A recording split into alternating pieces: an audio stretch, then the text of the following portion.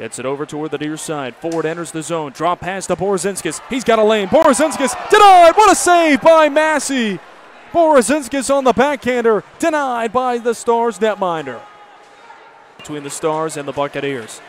Des Moines is 5 8 1 and 1 in his last 15 games overall against the Stars. They force a turnover and they score! Justin Mexico, for the third time in the last four games, has lit the lamp, and we are evened up once again.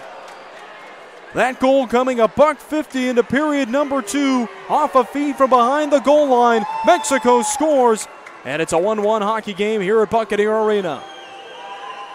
Bouncing pass settled by Jan Varia. Peters one touches backwards for Montgomery. Flips it to the right side. Peters shoots. He scores! Peters for the lead. It's 2 to 1 Lincoln. Just under 14 minutes to go in the second. A simple zone entry drop pass, and Peters takes care of the rest as the Stars are in the lead. Jack Picard to take the face off. Last night's game, he went 5 for 15 in the dot. Turnover forced here by Des Moines. Cutting in the other way. Zelenka to the backhand. Denied by Massie. He'll cover up the rebound just outside of the near post. Adam Zelenka trying to cash in on a breakaway after a face-off in his own end. The slot. Redirection, meanwhile, in front of the net just goes wide off the stick of Trotz. Van Rooyen backdoor. Denied again. Massie with a big save.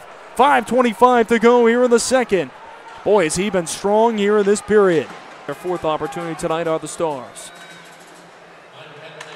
Face off win. Peters over to the right side. Jan Varia backdoor. Spinale one timer. He scores!